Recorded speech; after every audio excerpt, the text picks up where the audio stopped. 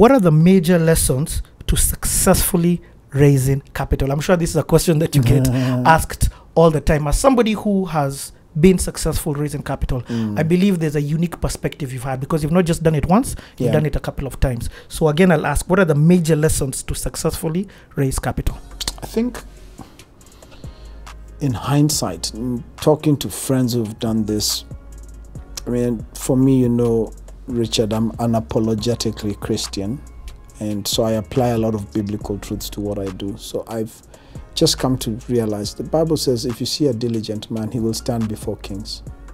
So diligence is one of the things. And, and so as people come to look at a due diligence on the organization, be diligent about how you deliver information to them, data to your investors, um, believability of the idea is almost at par with believability of the person. Hmm. and and so I think people have to either have so if you're doing it for the first time, you're going to have a challenge in that you have to have a really compelling concept because what people buy into is your experience. I can't I can't sit here and pretend to you that the fact that I've not done it before helps. But if I've never done it before, what happened those days is that I knocked on 200 doors and one opened. Whereas now down the line, I knock on fewer doors and they open because either someone really likes you or they can't stand you.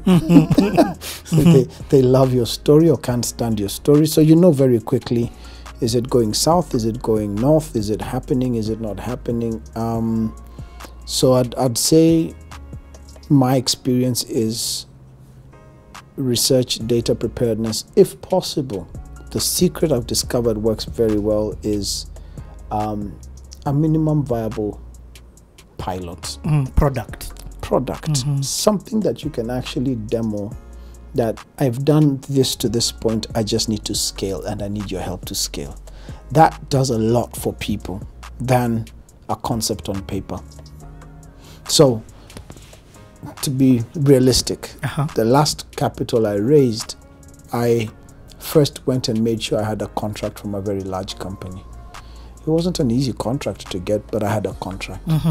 So because I had a contract, my experience plus believability kind of paired up because how did you get a contract from this large organization? So that's how you start to find people saying, okay, mm, I don't want to miss this bus. the fact that the person has this contract, it helps. So have something. You have to have, you have to bring something to the table. If you're raising capital, bring something to the table. You're not going to just convince someone because you have an idea that they should put money behind you. And he- another thing I've seen with a lot of us younger entrepreneurs is getting upset because people say no. My God, you will have many no's. Mm-hmm. You will have many no's. I got used to no's. And I realized it's not personal. Don't don't personalize this thing, you know. It's yes, it's your dream, it's your vision, but I've seen people who refuse to speak to me again because I didn't I didn't back them. And I'm not, we're not trying to be best friends, you know. I do wish them well, but not everybody will be as passionate. First of all, nobody's as passionate about your idea as you are, and that thing you have to always realize. Um, I was speaking somewhere and I was telling them when you study the book of Nehemiah, um, Nehemiah went and asked the king in the Bible about um, whether he could have certain resources for um, going to build up the walls Yep. of Jerusalem.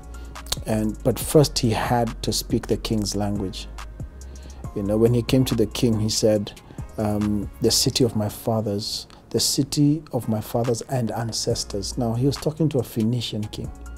That means these Phoenicians were so big on ancestral stuff. Mm. So he didn't just come because remember it's the king who had shut them down. Mm-hmm, mm-hmm. So he didn't just come and start saying Jerusalem is messed up. I'm, I need help. No, he said the city of my fathers and my ancestors lies in ruins. Immediately, he tapped into something the king was passionate about. There was connection. there was connection. He made mm. sure there was a connection. So you can't just come ask for capital because you're passionate. Mm. Make a connection. Oh, can I just piggyback on this and say Yeah. everybody always asks the question about how to raise investment. Yeah. I want to push on to this question and say when is the investment wrong?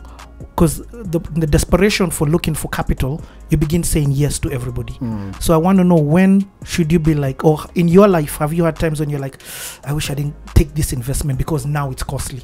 Mm. Yeah. so, w- so the question I think I'm trying to push and ask is, what kind of investments would you be like, yo, I know you want money, but keep away from this because of this and this and this. I mean, so money is a means to an end. You, you've got to have it in your heart, mind. What's your end game? And what kind of capital brings you to your end game? Because some capital is punitive. I'll say that and risk to say this. Sometimes you have to live to fight another day. Sometimes you have to live to fight another Yeah. day. So that means that you you could end up taking that capital that's not as ideal, but it's the only one available. I'm not going to tell someone walk away from it because it's not ideal. I don't think you're going to find a hundred percent ideal capital unless it's yours. Hmm. Anybody you bring into your business, angel, they're called angel investors, but there's sometimes nothing angelic. there's nothing angelic About about that kind of money.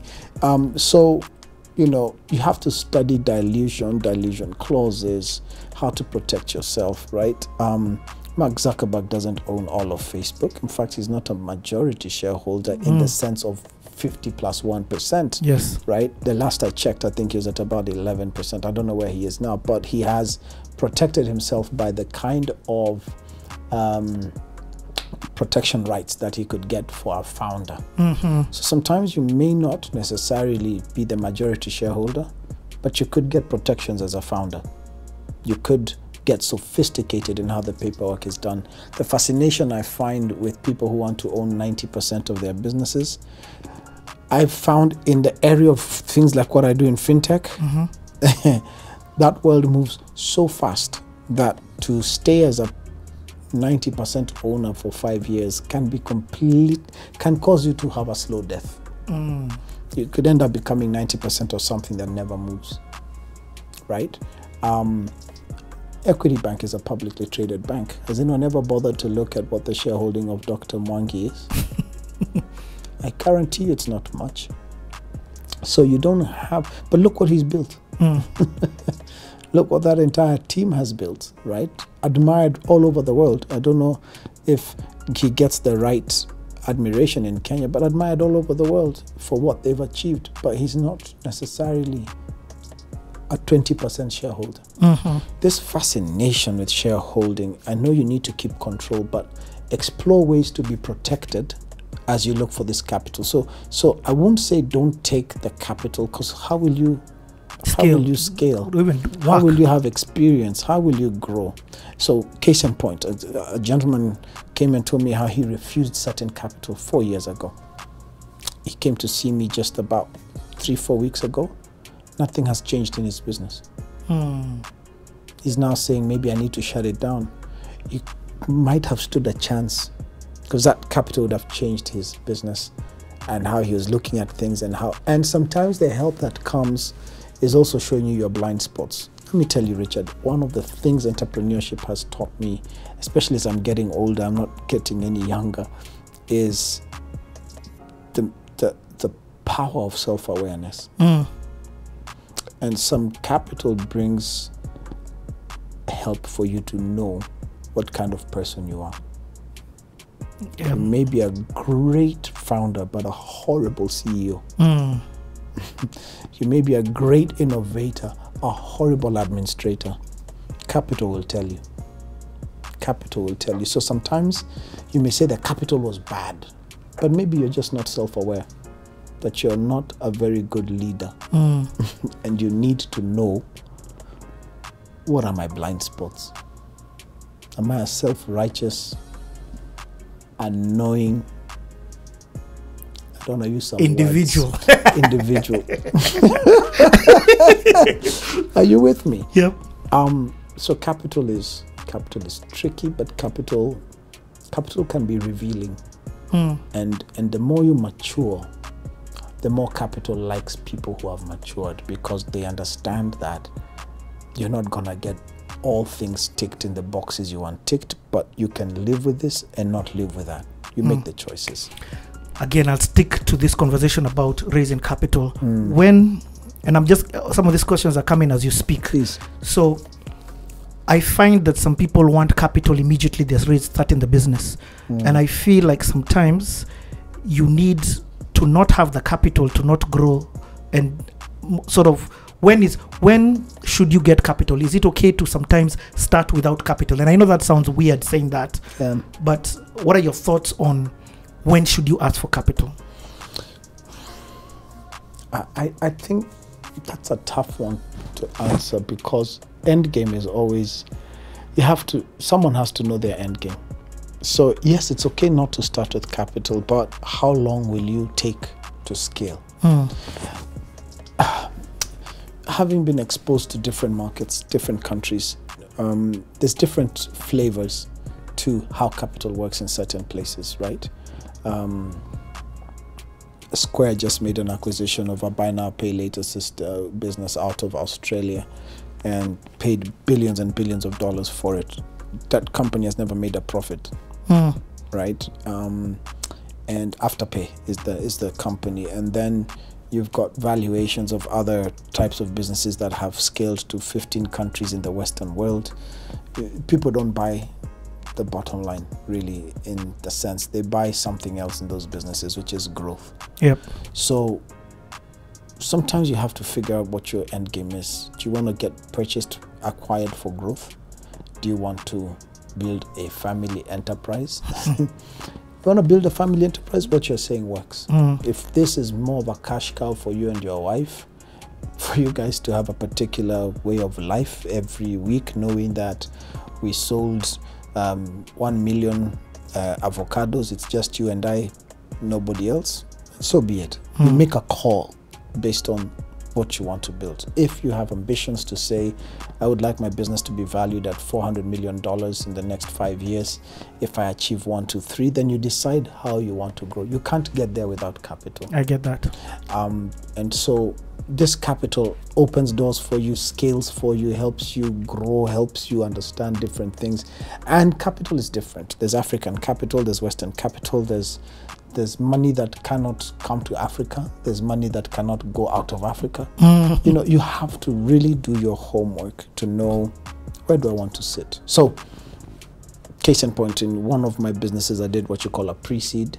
Hmm and then from a pre-seed series then i move into a series a. A, yeah. My pre-seed valuations determine how i will my last pre-seed valuation may determine how i want my series a to be valued. Yeah pre-seed is a place you can get money before the business has really kicked off but certain things have to be there yep then I go through this process of proving concept.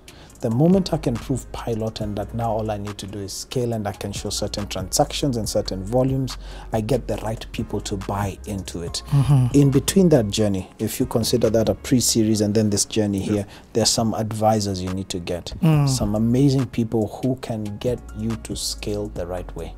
And these guys are found in different parts of the world. You'll find some in London, in New York. They have connections to a lot of funds. Mm. So don't necessarily go out on what you call a road show without these guys. So they become very good tellers of your story. Mm. They get to understand your business, and there's nothing you're doing. They will ask you very hard questions. They will tell you you're not ready. They will tell you stuff you don't want to hear. I'm now talking to people who want to go this direction. Mm. So for you to say, I raised 10 million in Series A Kenya shillings, I want to raise 500 million. Pre-series, I want to raise 500 million. You have to have these Series A. And let me ask. Actually, I love. In fact, I think to better articulate my question was definitely you need capital, but I feel like is there a perspective of in in pre-seed Mm. where you may at a, such a low valuation, probably the lowest valuation that the company should be at is at pre-seed. Now you're selling off 80% of the company. Is it is so from a from an from a raising investors perspective, should you have a limitation on the equity that you give out of your Mm. business at this pre-seed? Yeah. So I, I look at it in a few ways. That's that's a very good question. So at pre-seed, you have to ask yourself, at, So you can leave from Nairobi to Mombasa and decide you want to be on the road for 12 hours. You just go stopping, doing whatever. Or you can say I need to be in Mombasa in four hours. Mm. Your speed will be determined by what time you need to arrive there. Yep. Is that fair? Mm. So it's the same with a business. The speed at which I need to arrive at my end game Mhm. should determine what kind of pre series conversations I'm going to have. I have no problem being a 20% shareholder, just to give you an idea, of a pre series game, or of a pre series raise, sorry, where the intention is for me to scale to become a unicorn in five years. Aha. Because you'll be Uh, 20% of a billion dollar company. 10% maybe, Okay, because yes. I'll still Yeah, yeah, face you'll some still- yes, yeah, yeah, okay, in yeah. between. Even if it's of a one 5%. billion dollar game. So the important thing is who is in my pre-series? Mm. Mm. Who did I bring in? So I selectively picked a particular type of people at pre-series that bring so much value to my endgame thinking. It wasn't by chance, and I have no problem with us having smaller shares because the endgame is clear Mm. and it's worth the risk. It may never happen, but I am aware by being a 90% shareholder, that's a hard thing to achieve. Mhm. You're not going to get serious people coming and saying, I'll take 1%. Yep. You're not. If you find them, not For the unicorn not of something you haven't built yet, Uh-huh. right? People can take 1% of a very serious organization, but you haven't built it. So, so, so sometimes who you may need to have besides money is value. Mm. what value do they bring to Okay. their table? Mhm. Are you with me? 100%. And so you have to understand your end game. Now, if I want to be a farmer and I'm willing to take 25 years to build my farm, then I don't need to give away too much shareholding at the beginning. Mm. I want to build a generational company.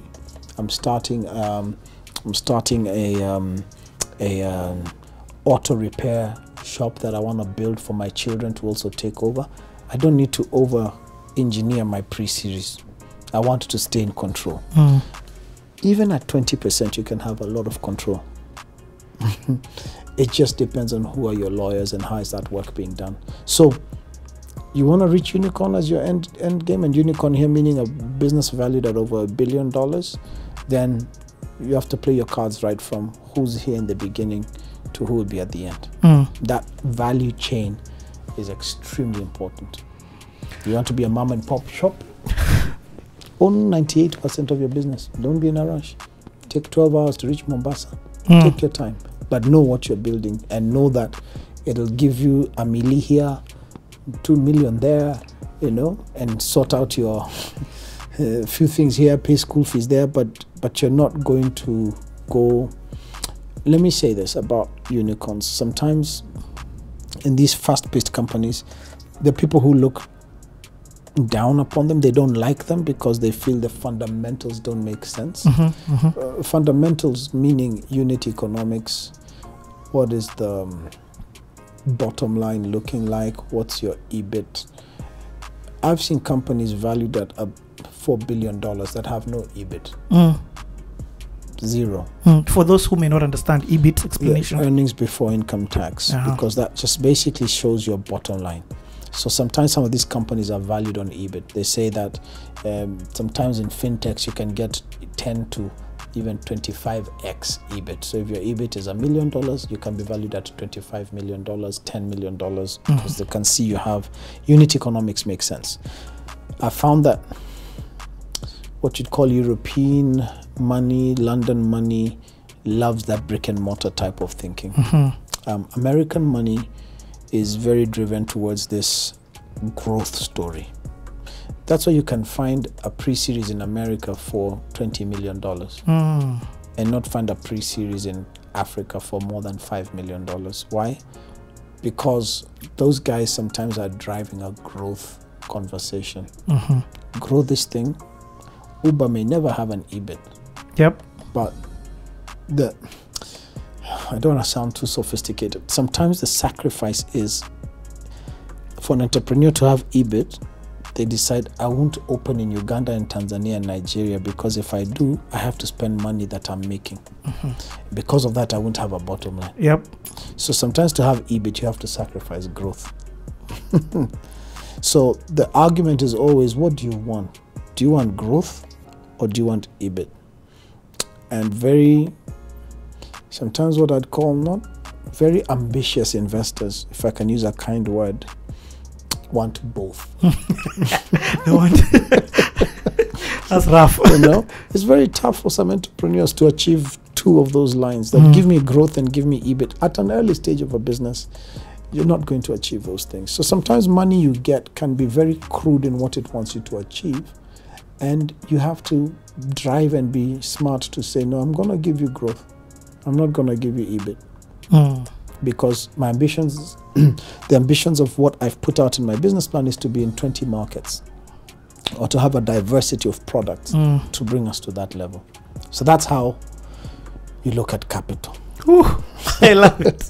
I absolutely love it. Okay, let me try and switch up the conversations Okay. o- about over here a bit. Okay, how do you plan and build cash reserves? Hmm.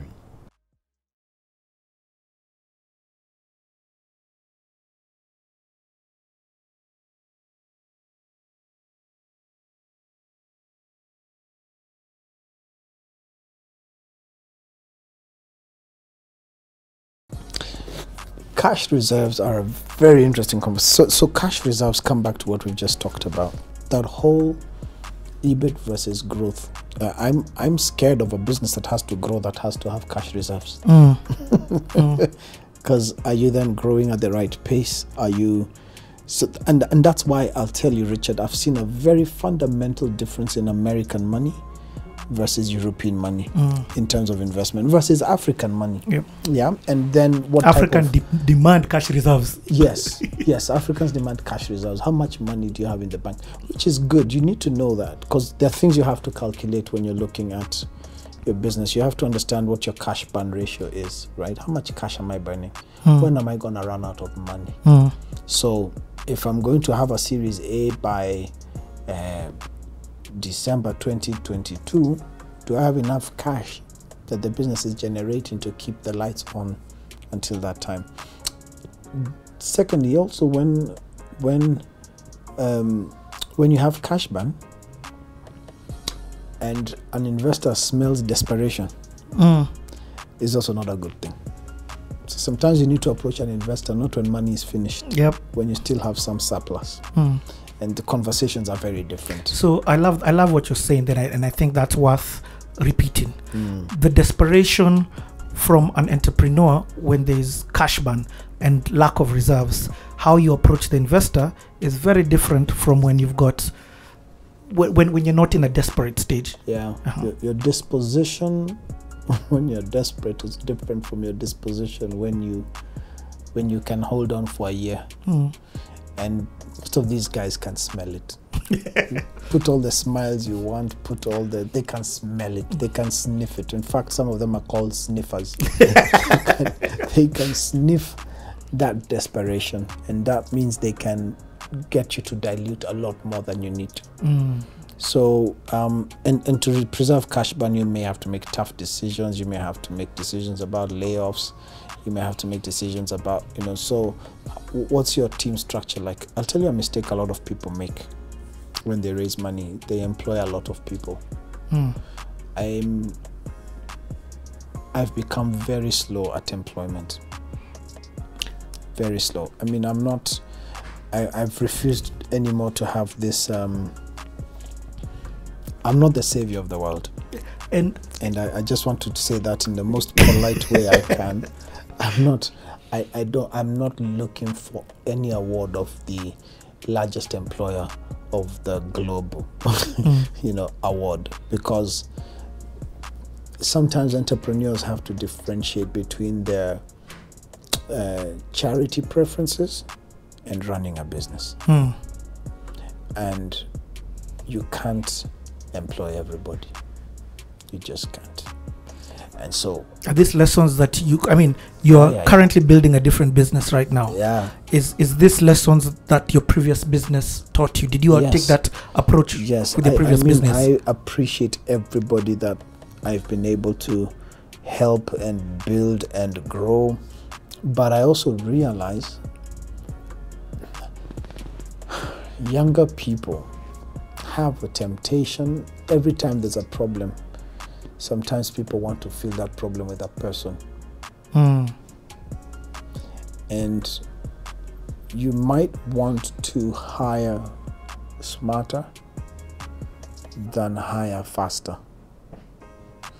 Um, because you and even styles of hiring. Is this person really worth their salt? Why start them off on a permanent contract? Mm, Kenya is not friendly to employers. I'm telling you, when you hire someone, and a lot of countries in Africa, right? In America, I'm allowed to fire at will. mm. But you try that stuff here, you'll find yourself in all manners of tribunals. in South Africa, you can hardly fire a house help. You know, so before I give you permanent contracts, what are my legal options?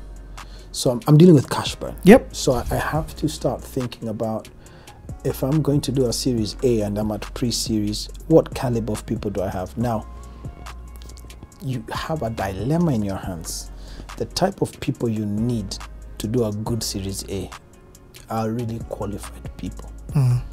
So, how do you balance between finding extremely good talent and not having enough cash, maybe in your pre series, to convince people in your series A that this is a business worth investing in? Mm.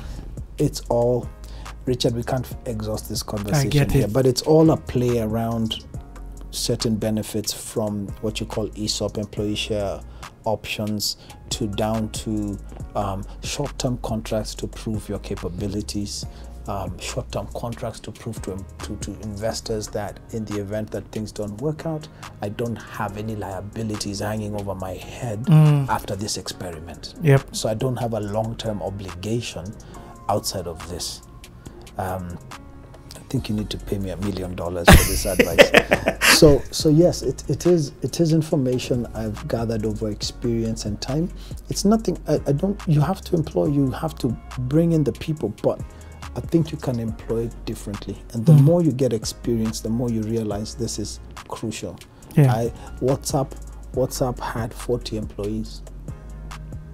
oh, I didn't know that. Yes, all of them had share options. The guy made everybody a millionaire.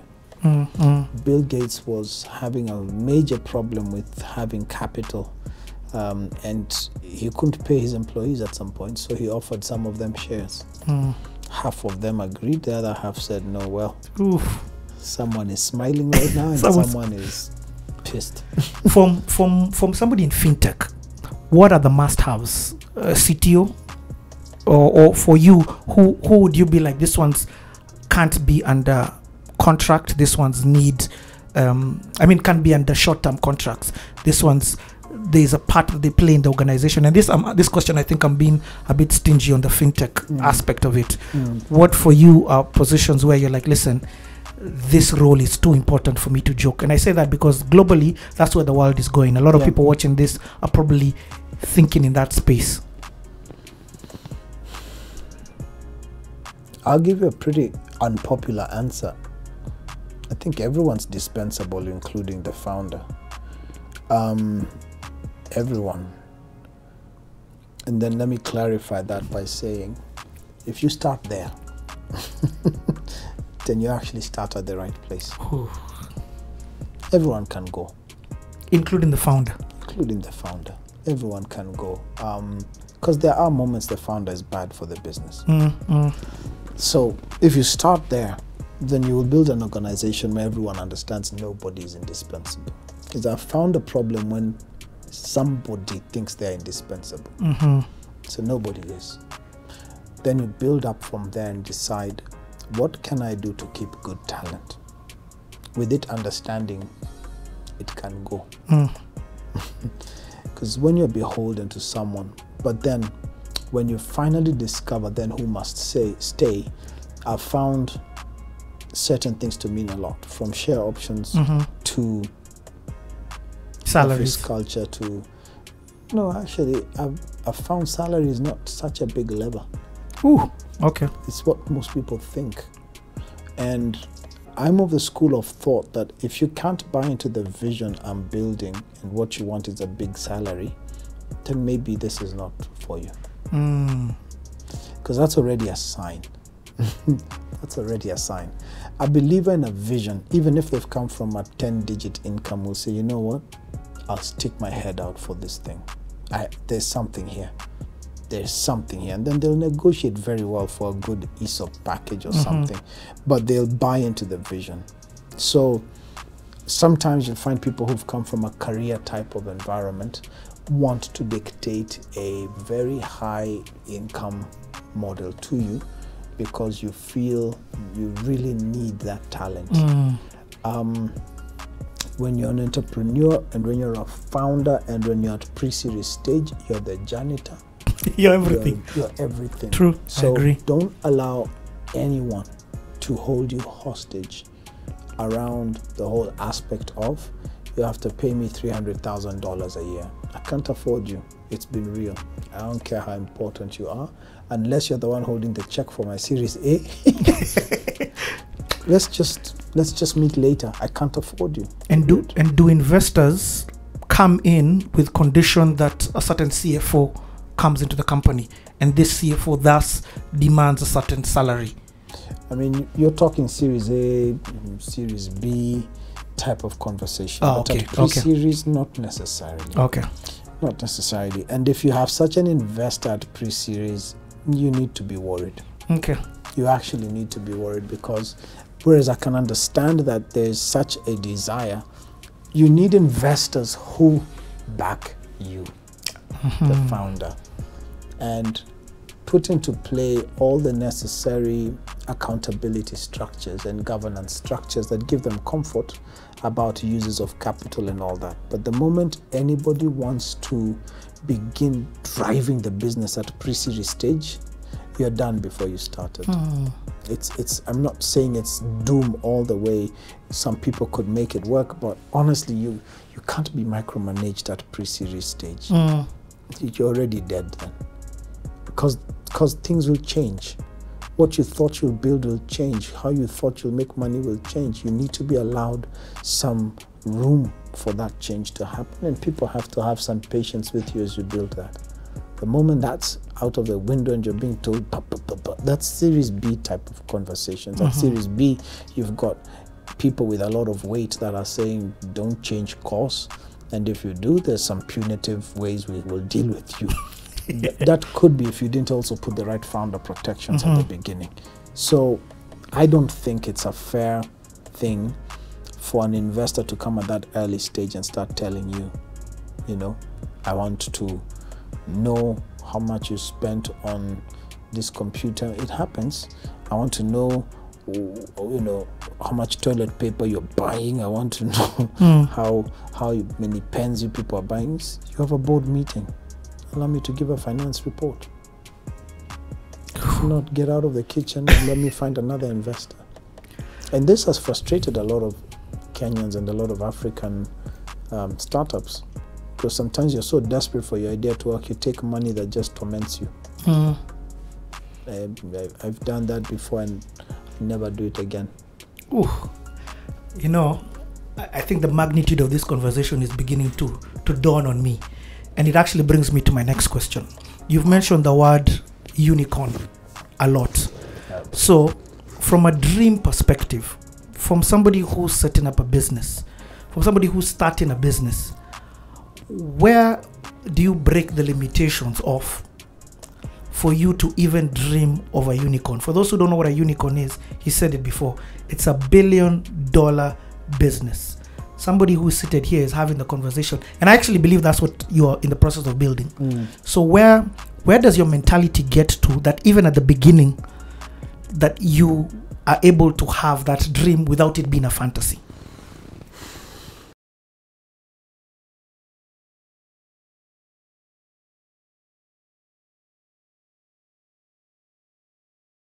You know, I, I think the magnitude of this conversation is beginning to to dawn on me, and it actually brings me to my next question. You've mentioned the word unicorn a lot.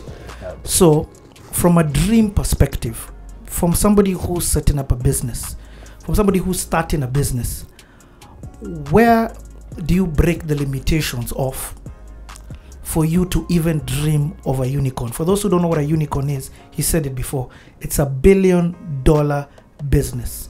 Somebody who's seated here is having the conversation, and I actually believe that's what you are in the process of building. Mm. So where where does your mentality get to that even at the beginning that you are able to have that dream without it being a fantasy? Let me let me let me first say I think Kenya is way overdue for a unicorn.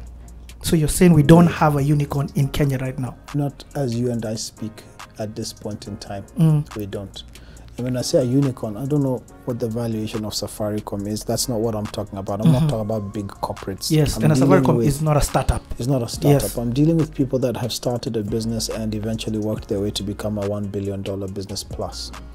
Nigeria in the last three or four years has just had three, four, five. They're just, just throwing them out there. And, and some of the businesses Nigerians have begun are businesses that Kenyans began a long time ago. Mm. Um, and you know, with with all humility, Kenya is, without a doubt, a tech force to reckon with in Africa. So, why we don't have a unicorn has a lot to do with either our models of how we look at businesses, how we raise money for those businesses, how we do that. So, the first thing I think that needs to happen, Richard, is that that ceiling needs to be broken. This limitation that it's not possible to have a unicorn or it's never happened before, I don't even have such ambitions. Once it started happening in Nigeria, I mean, even the one that was valued at $1.3 billion or so, Flutterwave eventually even is now, I think, at 3.6 in less than a year. Mm. It just keeps happening. Once you once you reach that, you start going. But at the same time, there are people who have a problem with the fundamentals of those valuations Mm. because do the business unit economics really make sense? So there, ha- there has to be a balance around unit economics and um, and that. So I think, I pray that in Kenya over the next 24 months to 36 months, we get to hear of two or three unicorns. I really hope I'm one of them. um, I don't know, but we're working hard in that direction because I think for the younger generation, once that ceiling is broken, you'll start to see them popping up quickly. What happens when that ha- when when you have a unicorn, the global attention of your country also starts to people start to pay attention. So what has happened in Nigeria is a lot of investment banks and groups are paying a lot of attention to Nigeria, Mm. even to Africa as a result of some of those companies getting to that point. So when we come to Kenya, it will do something for the younger organizations, the younger companies. And so groups that I've seen that are helping groups like Endeavor that are helping a lot of young companies or younger companies grow, scale groups that are looking at connecting, opening those doors, those become vital Mm. to the younger generation or those who are starting younger businesses, not necessarily younger generation, but those who are starting young businesses, I believe scale the type of capital, speed to market, all these things factored in together start to make a big difference around reaching that type of status of a unicorn or Mm. let's not if you don't want to be over ambitious even a business valued at over 50 million dollars Mm. 100 million dollars it's achievable it's achievable it's so achievable richard we just need to support one another see these things happening in surrounding markets and begin to build in a very smart way we have to stop building just for kenya Ah, I was going to ask, in fact, I was going So- to ask, sorry to interject, but just to ask you that, is that then what made you dream? Your perspective Yeah. is already, listen, you have a more African perspective than a Kenyan perspective where you're like, our brothers are doing this, Yeah, yeah, so why can't it be done here? I don't even have an African perspective. So the business I've started has offices in Silicon Valley and in Nairobi. Mm. Why? Why not? It'll cost me as much to have an office in Lagos in rent. and and the perspectives of how people view you when you do that are different. Mm. Are you with me? Mm. They're different. So so so I'm sending employees from Kenya to America. I am. And they're gonna build. and they're building for our business. And we're realizing that there's some dynamics that are to our advantage there than here. Mm. The, the, having the companies registered in Delaware and through the Silicon Valley are better in terms of prospectus for raising capital than they are necessarily for raising money only in Africa. Mm. So there is what I call a lot of lazy capital in Africa. It wants to see 10 years financial statements, brick and mortar, one, two, three, four, five. I mean, you know, to be honest, it's it's okay, but it's annoying. Yeah. Things have changed. That's like that's like using um, let me find the right example because I have to find that's like using MySpace for um, communication Mm. Hmm. Hmm. Hmm. in today's age. That's like using uh, Windows 95 Yeah. for a fintech. It's like using a MacBook Pro to write a letter. Thank you. More like using an aerogram. And I know there's a generation that has no idea what I just said to write a letter in 2022. And I'm I'm I've had conversations where people are like, um, no, I'd rather, you know, we'd rather buy a bank. Mm. It's digital age. And I'm praying younger people come and disrupt the living daylights out of some of that thinking and change the way a lot of these companies are going to think, right? I mean, who thought? Who thought? I was being told the other day by one of my investors about um, this whole new cyber world. Um, um, what is it called? Oh my goodness, I have to remember. The metaverse. the metaverse. Metaverse, yep. I mean, look at the metaverse. Whoever thought Mm. that we will have a virtual world Yep. that people are investing heavily in. And so, I own a piece of land in Decentraland. thank you. you see, and, and and and you start to look at things like that, and how how companies are looking at this, and how, and someone is still telling you, um, you know, you need to be introduced to our bank by another banker. It, it, it doesn't make sense. So so I'm of the school of thought that let's disrupt this thinking. because for that next generation to get access, and it's the same way I think about real estate, it's the same way I think about housing for the next generation, disrupt what's old. When Safaricom decided to put a cell phone in the hands of a watchman, Mm. the game changed. Mm. The moment you are about humanity and making some changes on what it is you really believe in, you will see what will happen. Mm. So I want to see 20 unicorns in Kenya. I want to see 100 unicorns in Kenya. Change the game. Change the game. What are we going to innovate? Open up offices in multiple countries. And now that you can do it virtually, you don't have to have necessarily physical presence, Mm. but it does a lot for your story. It really does. Story is key. Story is key. At the same time, you have groups like Twiga that raised their first capital just by having only a Nairobi operation, not even Kenya. right? Raised $50 million from Goldman Sachs Mm. and, and, and co. It's public knowledge. I'm not quoting Yep. anything there. but they only had business in Nairobi. So it's not necessarily that you have to be in New York and all. I don't know what you're trying to do, but if you're selling bananas like Twiga and fruits and vegetables and eventually growing to what they've become today, then localization may be very key. Mm. If you're doing fintech and you're looking at solutions, payment gateways, why limit yourself to one market? Flutterwave didn't limit themselves Mm. to one market. The whole payment gateway system is globally applicable. Globally applicable. And that's why they get those kind of valuations. So don't give me a payment gateway that can only work with M-Pesa. Mm. You've just killed, I mean, this, this You've locked out. fascination with just, even M-Pesa are trying to be global. so build for their global thinking and become a global partner for them and give them global solutions. Then you're talking. Hold on. You've mentioned, oh man, you've mentioned something so key there. That's a way, from a business perspective, from a business idea. Yeah. What you've talked about is figure out what um, just to give somebody a business idea there what you've just said I, I, I don't want to run over it there's an existing corporation entity company business Yeah. that is looking for a solution rather than you go and start from scratch to be that business and get the market share and everything come up with a solution sell the solution to them Yeah. and become and have a global partner for them and grow by client. That's how the IBMs of this world grew. That's how the KPMGs of this world grew. You'll find Coca Cola in Atlanta have a policy. Maybe I don't know who their auditor is, but they'll say our auditors globally are Price Waterhouse. mm, Good luck, Kamau and and Richard and Sons uh, auditor company trying to get the Coca Cola contract in Kenya. You can't. They those companies grew by client. Mm, and so you can grow by client. And you can scale by client and you can you can acquire through clients and clients can acquire you.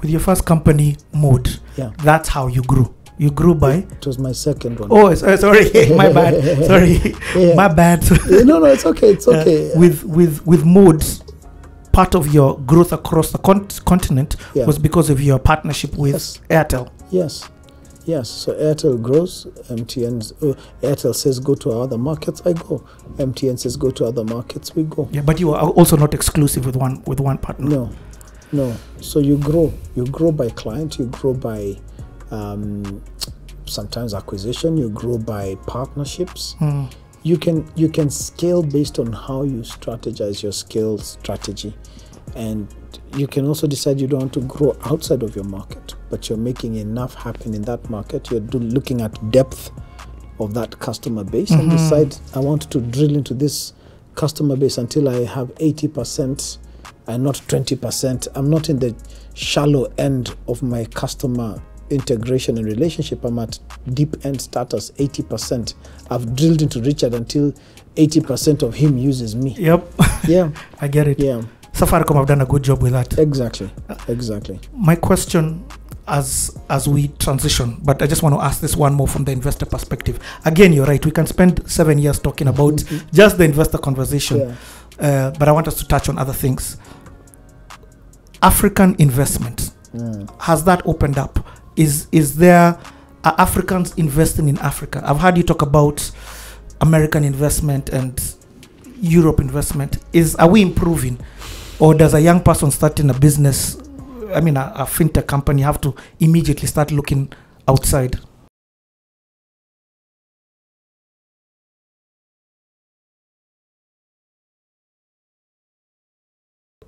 African investment. Mm. has that opened up is is there are africans investing in africa i've heard you talk about american investment and europe investment is are we improving or does a young person starting a business i mean a, a fintech company have to immediately start looking outside I'll tell you a truth that will shock you.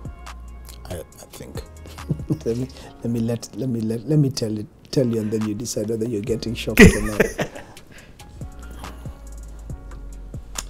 I think Africans can be very um, diverse in their mannerisms and their loyalties and their um, patriotism. You will find some of the reasons the Nigerian narrative is really working globally is because the guys running some of the investment banks in New York are Nigerian second generation. Mm, Are you with me? i'm with you They are second generation westernized, Mm, but they feel we have to do something for home. yep um, and therefore they link up with their brothers who are doing great things and they make it happen. hmm I'm not tell you about Kenya. So we as Kenyans, I think, have a fundamental. I don't say Kenyans. Nigerians are unique in the way they look out for each other, and a few African countries are like that. You will find maybe even Egyptians behave like that. Mhm, you know, mhm. People from different parts of Africa, but Kenyans don't behave like that. We we are not um, as um, loyal as far as I'm in New York. I'm running an investment bank. I want to make something happen for Richard because he's a Kenyan. Mm. The Ubuntu. That Ubuntu-ness. Kenyans are like every man for themselves and God for us. I, I don't want to generalize. Yeah. It's not fair, but I just want to tell you in that world, what I've seen Mm. is there is a s- desire by a Nigerian working at JP Morgan or, or at, at, at, at, at, at Citibank to raise another Nigerian. Mm. It's not necessarily the case for us.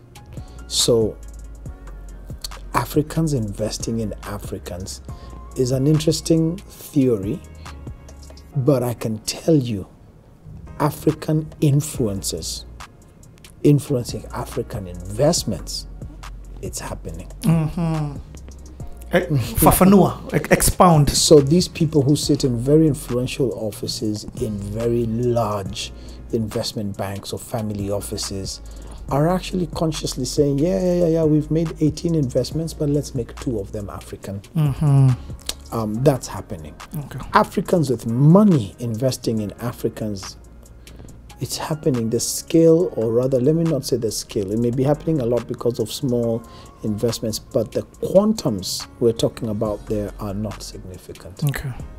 and therefore they don't tilt the needle much as far as quantum is concerned. They may tilt the needle as far as volume is concerned, Mhm. but not quantum of capital. I get it. Yeah, so you may find NGOs, um, small companies.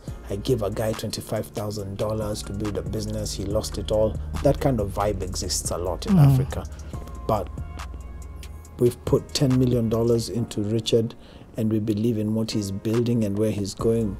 Mm-mm. No. Okay.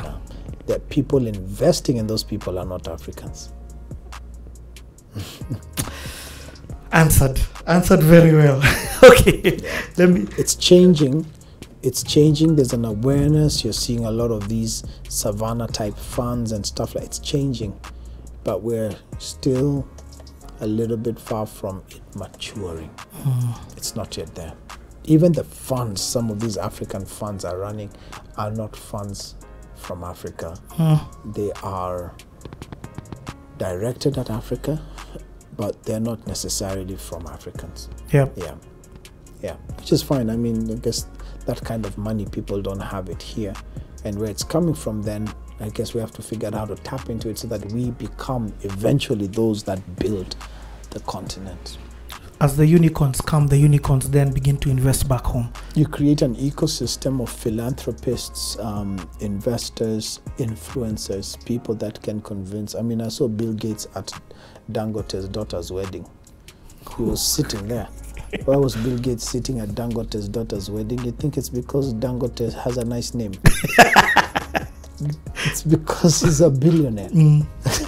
you can, so you go with him to the office and you pass by his office in Lagos. Uh, he's with Bill Gates and he says, Bill, you know what I'd like to do? I'd like to do one, two, three. And Bill says, that's a good idea. What do you think we should do? You don't get those type of, you don't get that kind of attention um, when you're not, and you, you don't get the influencer's attention when you yourself are not an influencer. Mm. So I think when you hear people like Strive Masiyiwa talk about what they're doing with Bill Gates or with Bill and, you know, his ex-wife Melinda, it's because they're, they're, they're some of the top African philanthropists and these people want to work with philanthropists. You talk about how will you get the ear of the Slim family to do something in Africa? Um, how do you get the ear of the Catholic Relief Services to fund more of these younger youth startups and all? Right people need to be having the right conversation. Mm. So when the unicorns are there, if you go right now and you say you are the first unicorn out of Nigeria, uh, you have someone's attention. Yep. Completely changes the. attention, and what that does the is posture. we change this whole. There's not much talk of unicorns in America because there's so many. It's still there, but there's so many. But in Africa, oh man, this has to change. The the Forbes list of Africa needs to start changing. It's in the same names for. for a couple of years. Mm. Okay. Did you know there's no Kenyan actually on that list? Is there? There's no Kenyan on the Forbes top 100. I would I would wonder whether one name needs to be added because there's one that I know should definitely be there. but we'll leave that for a different conversation. Yeah. okay, so let me ask you this: you you you talked about fail quickly. Uh, when you were when you were speaking about um, entering a pioneer's market, I've got I've got another question for you. As the founder of, of the business, when do you know when to close the business?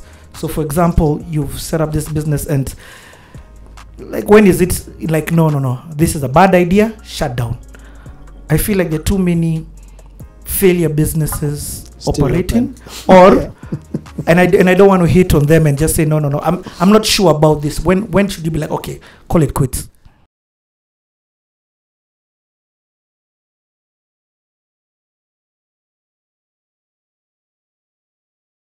As the founder of, of the business when do you know when to close the business? So for example you've set up this business and like when is it like no no no. This is a bad idea shut down i feel like there are too many failure businesses Still operating open. or Yeah.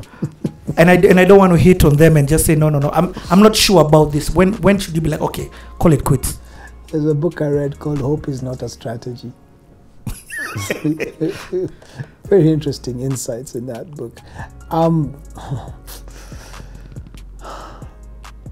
yeah, there's, there's hope is not a strategy but hope is so crucial for business isn't it No, it's crucial, but it's not a strategy. Yeah, That's okay. the truth. It's Yeah. not a strategy. You can't you can't eat hope, right? Um, even biblically, hope um, sandwiches faith and love. You know, it, it hangs on to something. It, it it has to. It's a very important ingredient, extremely important. Uh, but at some point, it has to turn into tangible Mm, results, right? Even the Bible says, "Hope deferred makes the heart weak." mm. it can cause someone to faint when something just is always looking like it's there and it's just never there. not making I, it. I've been there, Richard. I've been there, and so you ask a very important question.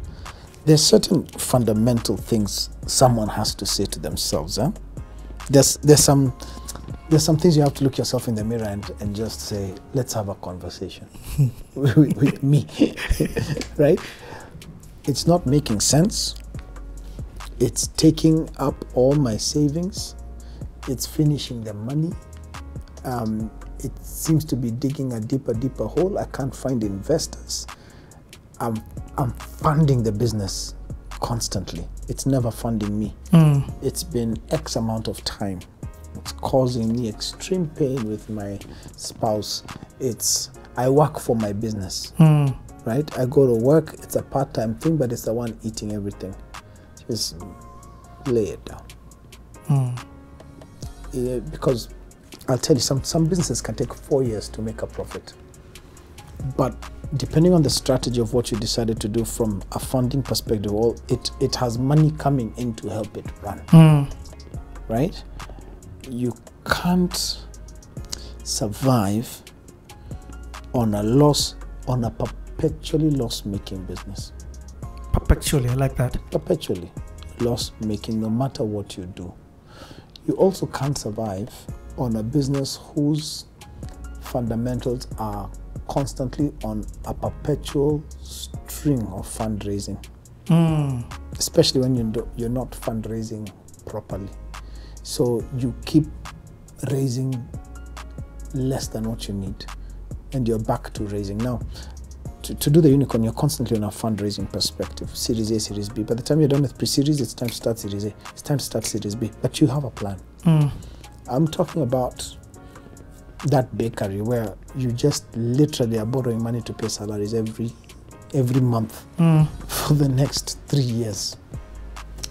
Um, and the business is not even making the money too. it's not making the Yeah. money. So what is it you're gonna do different? So you must have those fundamental conversations with yourself. Is this just passion? You know, I, I go for some talks and I hear people being motivated so hard. I'm in that line of speaking to people, but I'm careful. You know, you, you can't motivate me to be a good businessman. I'm either good or I'm not. Mm. you know what I mean? You, you can't pump me up and say, "Don't worry, it's not. It's it's going to it's going to work." I come from a school of thought where I think it's time. Sometimes you have to have an honest conversation with you. Mm. No, it's not going to work. No, it's not going to work. Um, this business is dead. And how do I know? How long have I had to self fund? How long have I looked for investors and they're not coming? How long do I? And sometimes it's good to also decide let me pack it for now You see where we are a year from now while I try and rework and rethink my strategy. Sometimes that tension in a business comes so that you pivot. Mm. Pivoting meaning change direction completely. Mm. What you thought you were gonna do, it's not working. And so you have to be on your.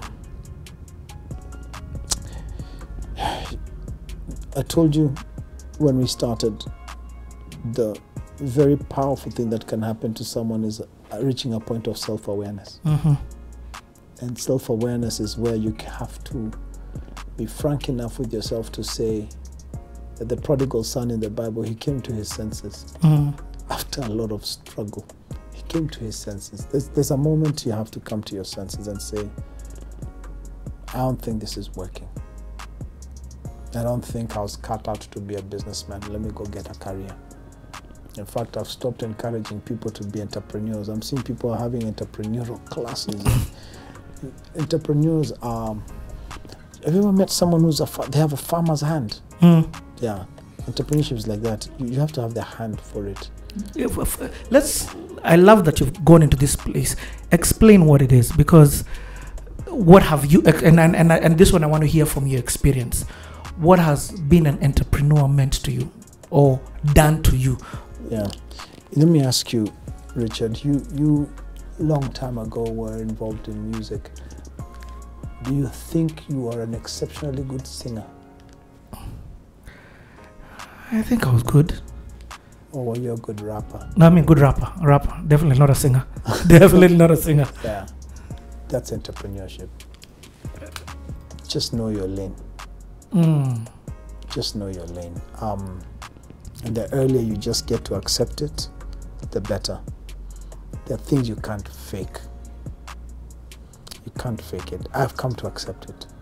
I know in entrepreneurship what my strength is.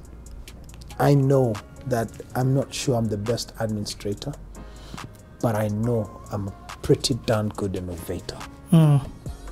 I know how to put the pieces together and bring a business out, but I'm constantly looking for my right hand person who's a very good administrator. Mm. Because if you don't know your blind spot, if you don't have self awareness, you can't pump yourself up about your weaknesses. you you will mess people's money and you'll burn a lot of bridges. And some of this stuff is extremely unforgiving. Yeah? Mm. Uh, you know, this is life. It's not a rehearsal. yep When you take people's money, it's um, it's expected to work. It's expected to work for them. Yes, it can go wrong. Yes, things can happen. Yes, there are risks. Yes, things can morph into what you never imagined. But if you know you did your very best with that awareness, then it's important. So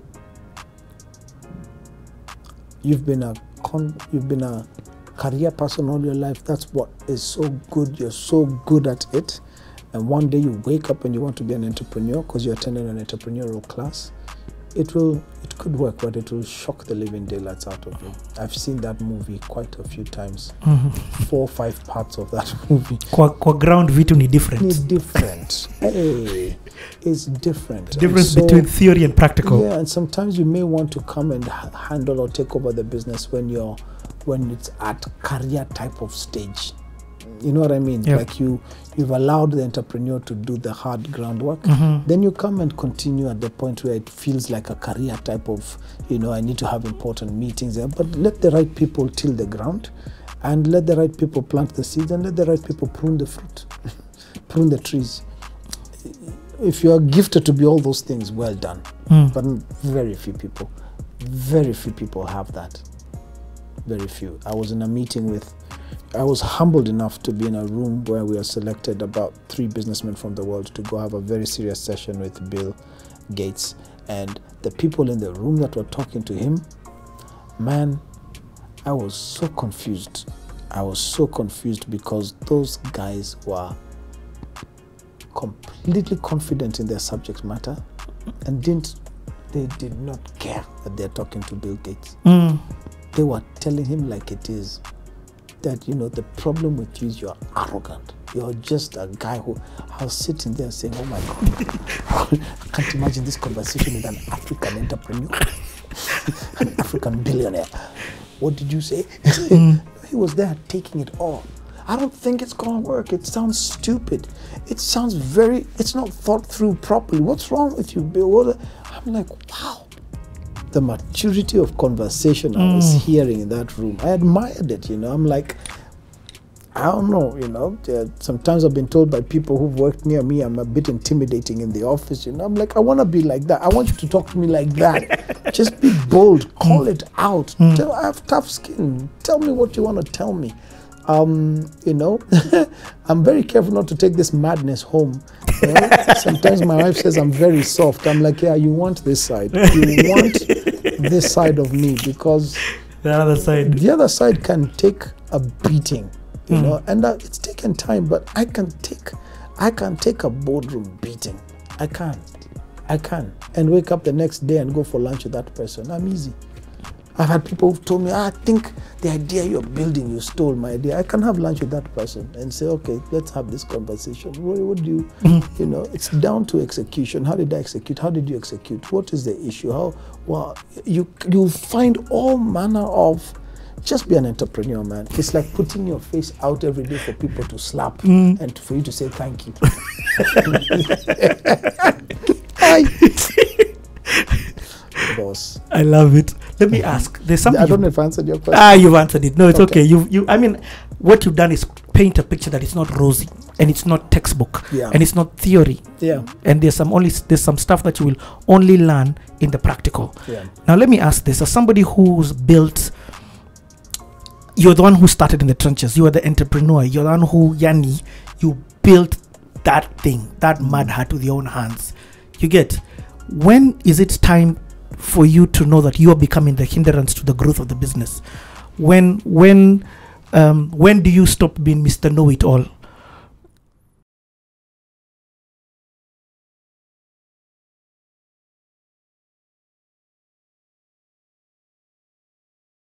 Now, let me ask this: as somebody who's built, you're the one who started in the trenches. You are the entrepreneur. You're the one who, Yanni, you built that thing, that mad hat with your own hands. You get. When is it time for you to know that you are becoming the hindrance to the growth of the business? When when um, when do you stop being Mr. Know It All? Does that are you, are you get my yeah. question? I am Rather than you now stay there and that business dies because you refuse to leave. down to self awareness, Richard. If I can give advice to any young person, read books on self awareness early enough. Mm, Find people that will train you and mentor you on self aware. Forget this pump up mentorship of you're gonna make it.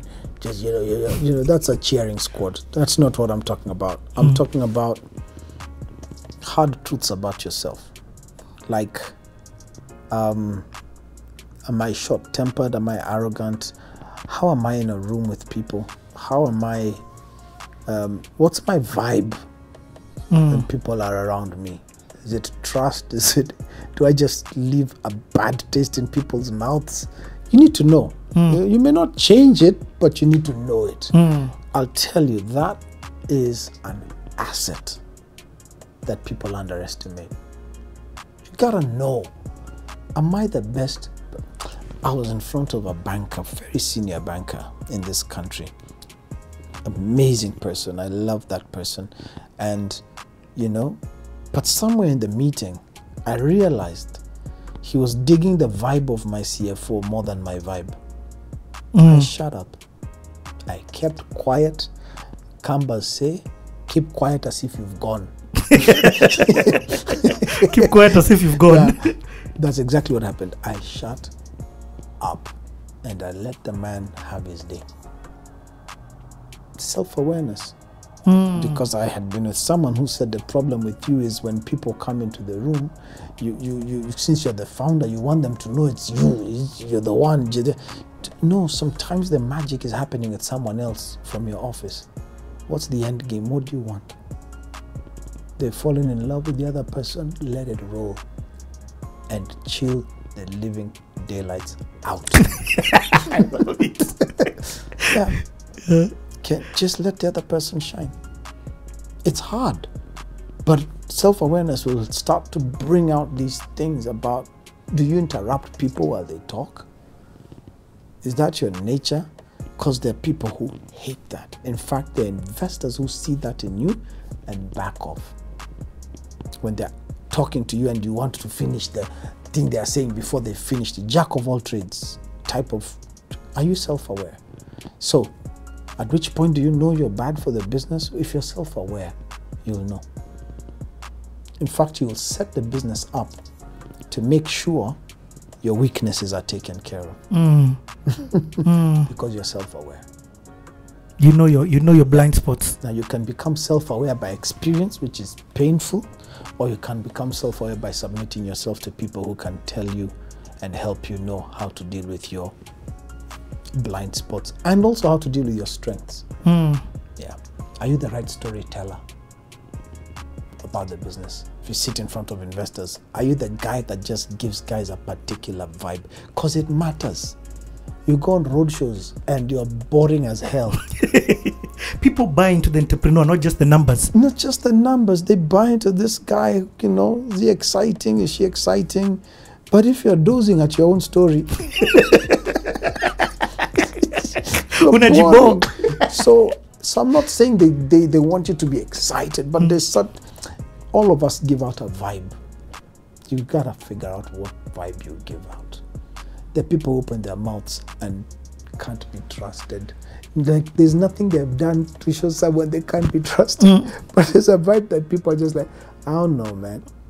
It's, it's, it's There's something. something, man. You know, the last interview you and I did, I think there was a guy who was like, I don't trust this guy. There's something about to that person. I had a vibe. Mm-hmm. You know, um, they didn't think I'll build my homes. They should come and see them getting built now. Nah, and we'll get with the, with Yeah, time. we- with time, we'll talk about this. With- yeah. But the point I'm trying to make is, First of all, congratulations thank you, on thank you. Beulah City. It's important that we know, and not just Beulah City, even Yeah. EDOMx, everything else that you're Asante. building. Uh, when the time is right, I'm sure you'll be back here for Yeah, us to have a We'll conversation about, about, those that. things. Today's today is about this Yeah. very hard subject Yep. about capital and entrepreneurs and all. I love it. But you will know when you're self aware what you're not good at and what you're good at. And that is an asset every entrepreneur needs to take time to ask some very. Even Jesus asked, Who do people say I am? Self awareness. Okay. Hey man, we've got a couple of questions. Uh, I'll do a hard stop at two hours. Okay. Uh, remember, we will we'll keep doing these conversations. Yeah. Okay. What do you pick? How do you pick your board members? And who and why are board members even important to you? But how do you pick them?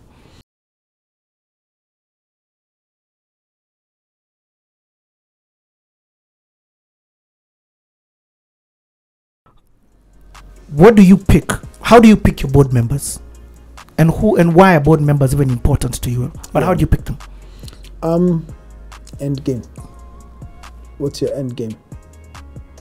So again, mom and pop shop.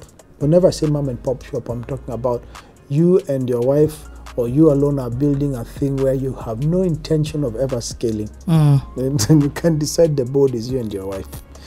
Um, or just you. you're the chairman and you're the CEO. But on this other side, if you want to scale, for instance, to this unicorn type of status, Mm. you pick a board that takes you there.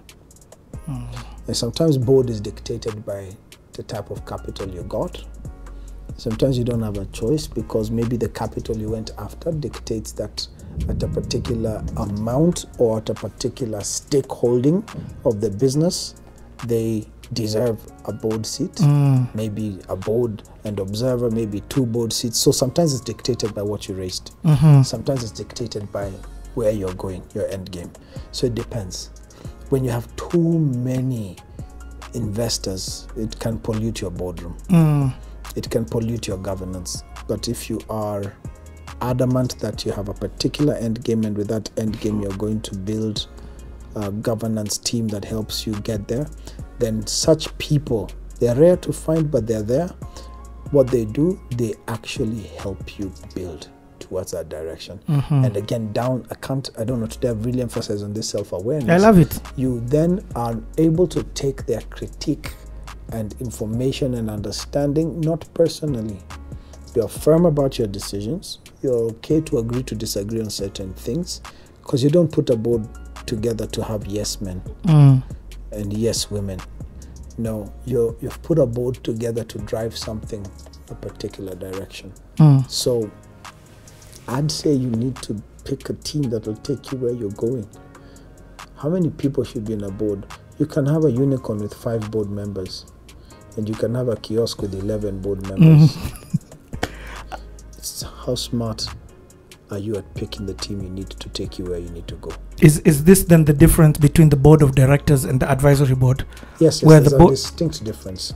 A board of directors can be dictated heavily by the kind of money you raised and all. Um, and if you raise the right type of money, then it's actually the, the right board to take you where you need to go. Mm-hmm. So, for instance, in my case, I have two board members from the capital raise, Uh huh. and then I have three board slots for value driven board members who you want to select particular caliber of people that have the right influence, have the right um, direction, have the right status to help you get there. So the other three for me are Americans. Mm. And I've left those slots for them so that as we fill those slots, these become people with enough influence to help us close Series A, Series B, and become that unicorn. Oh, that's powerful. So what I'm hearing, you've got three open slots right now, Yeah.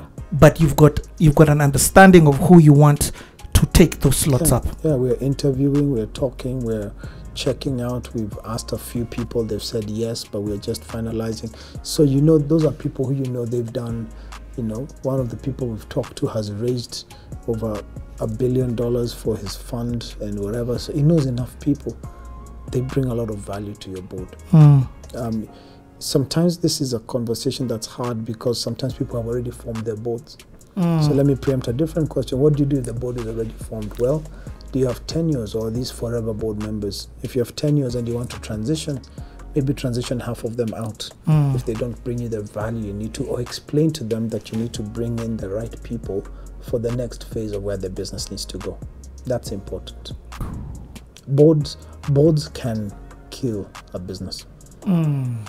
boards can kill a business. And sometimes some of the board members you bring are professional board members. Mm. All they love to do is be on a board. But do they bring value to where you're going? I, I have a friend who just had amateurs on his board, but they were people.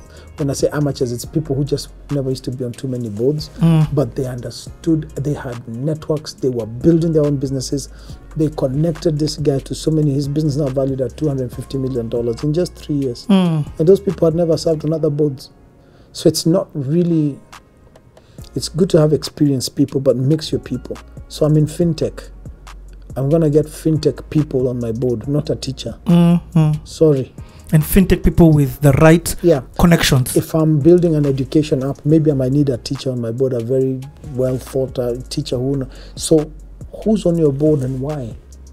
You have to ask yourself that question. It's not for decoration. It's very purposeful. It's very, very crucial to have the right people there, and they must make time for the business. Mm. They must make time. And when you're getting these board members, for example, the advisory boards, the equity conversation is not a part of this. Mm-mm. It's not. Not at all. Okay. Not at all. For what? But and, and So, also unless they are sitting on the board as part of the equity they already got. Yes. And it dictates that a particular stakeholding requires a board seat, yes. Mm. But others need to be value driven. Okay. And you give them compensation or you find a way to compensate them monetarily or whichever way for their sitting allowances. But no, you don't. You could give equity if you want. Maybe you have, you know, a very, very influential person. Um, um, um, you, you could have an extremely influential person that you feel if I put this one on my board, it opens very serious doors. I'll give them 1% of the business. Mm. But don't be naive. Okay, the reason why I asked that would be then what would be the motivation for the board members to then open up their networks for you?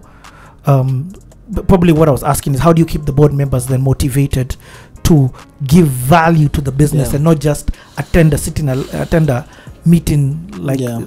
always happens just for the sitting allowance. that's why you have to really vet and know the type of people you want. There, you, Richard, there are amazing human beings out there. Mm. The fact that you could be building a unicorn will attract a certain caliber of people who want to be a part of your story Okay. and are moved by your values and character and systems that they say, I don't mind being a part of this story. Mm. I'm happy to utilize my time towards something of this sort. I'd love to have my name attached to this kind of product. That's it. You will be shocked that there are people who say, Okay, you have my attention. And these are CEOs of very large companies that are telling you, I'm interested.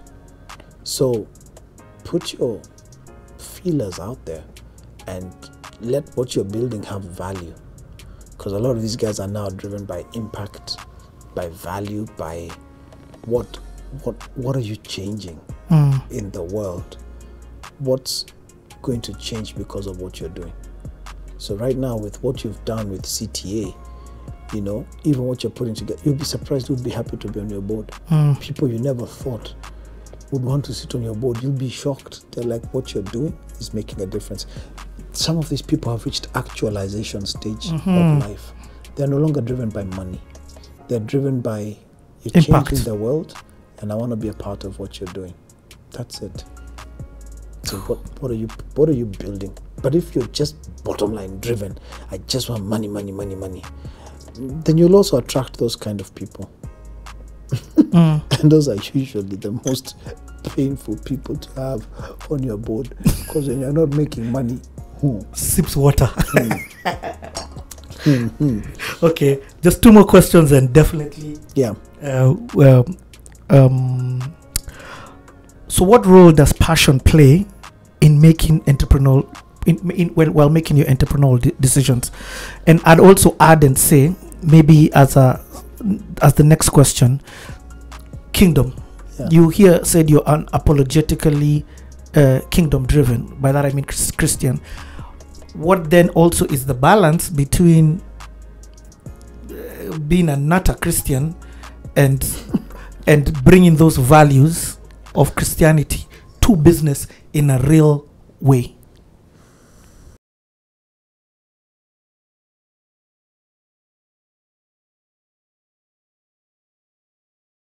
So, what role does passion play in making entrepreneurial in, in while, while making your entrepreneurial de- decisions?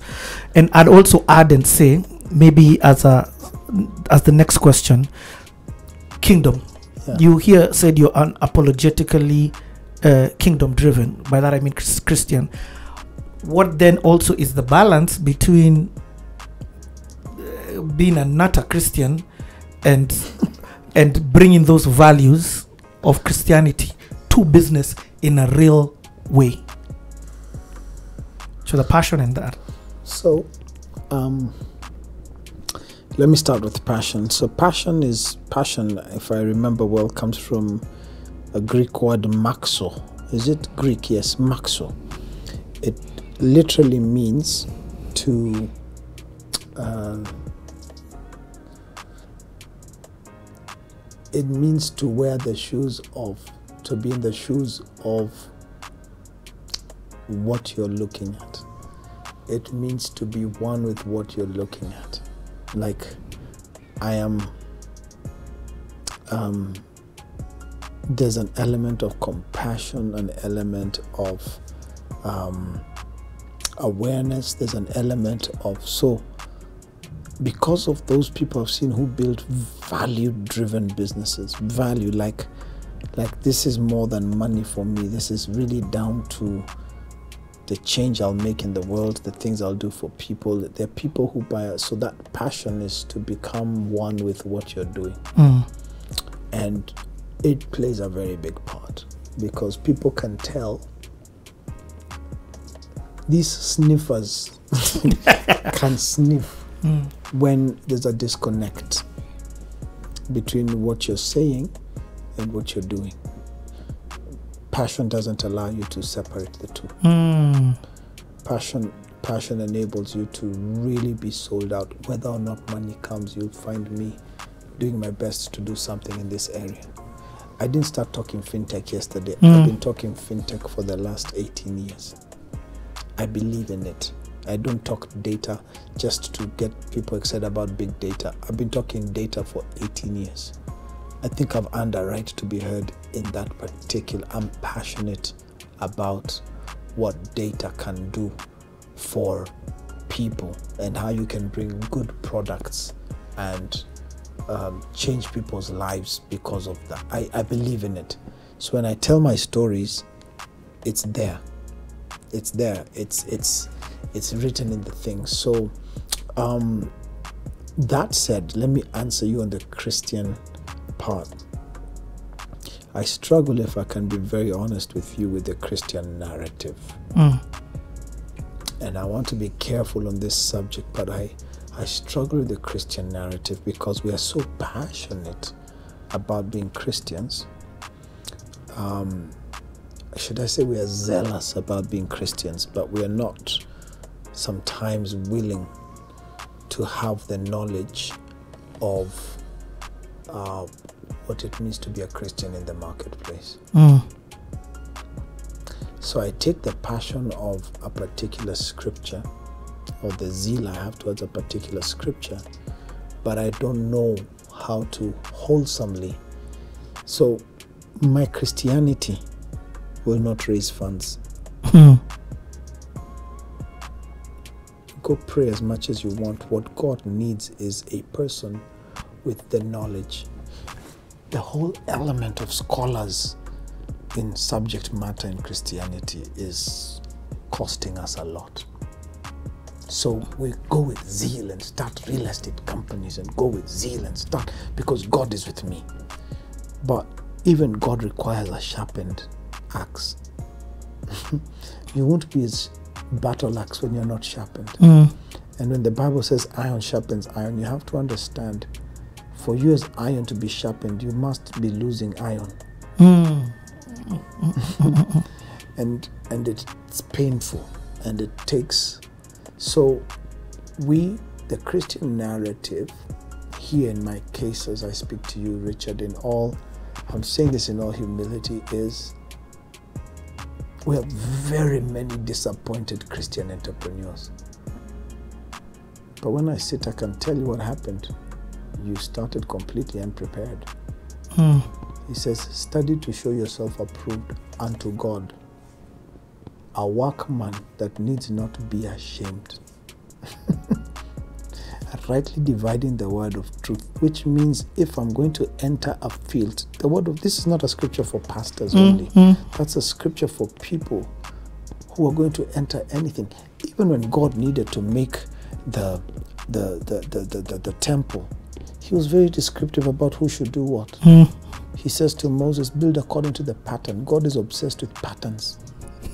Don't just start doing things. Be very precise, be very particular, right? If we're going to go have a legal argument on television, don't send a bishop Mm. who doesn't understand law and wants to come and tell me about the Constitution. Mm. Bring a Christian lawyer Mm.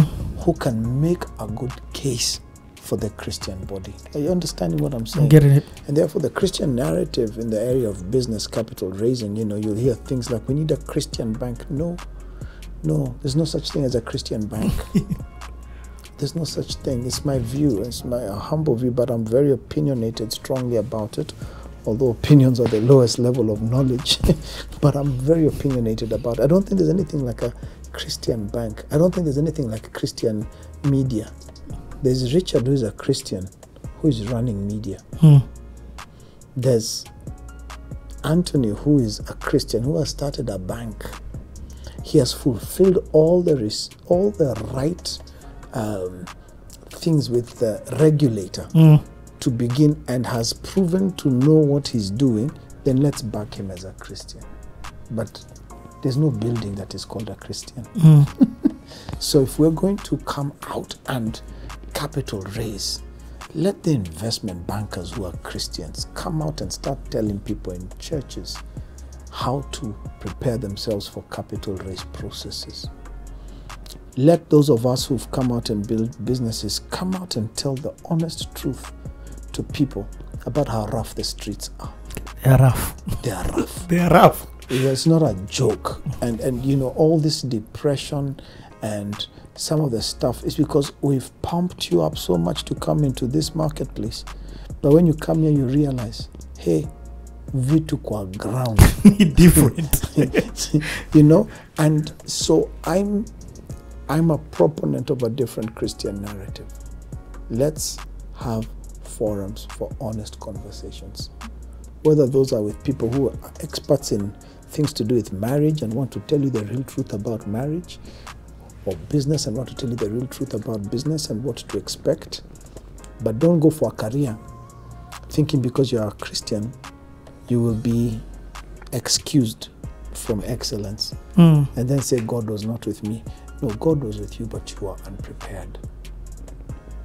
Daniel, Shadrach, Meshach, and Abednego were the best when they were compared with all the other students. They were Mhm. the best. Mm. God could work with that.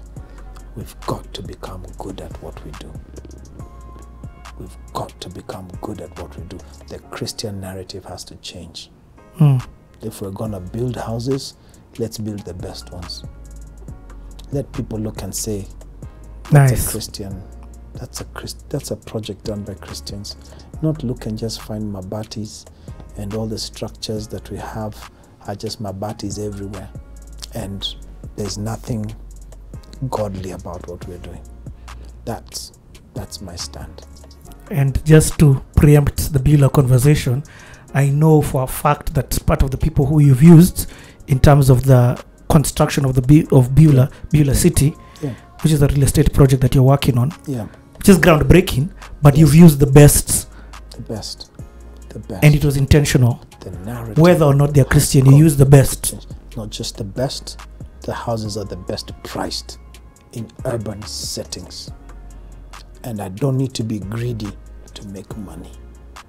We've got to perpetuate our value system into what we do. Hmm. We have to. Okay, love it. I know the Beulah conversation is eating people, but don't worry, guys. I promise you the time will come for that conversation to happen, as promised. Okay, prom- Okay, now, now for real, there are two more questions. Okay. Okay, how do you motivate yourself, especially after failure or while you are in this process of "Ah, I've just shut down my business? The thing about you, you are the perfect candidate to have this conversation. what makes you keep getting back up? Because you've had some epic failures in terms, and I put that in quotes Yeah, yeah. in terms of you've you've had you have the perfect excuse to quit. Yeah. Yeah.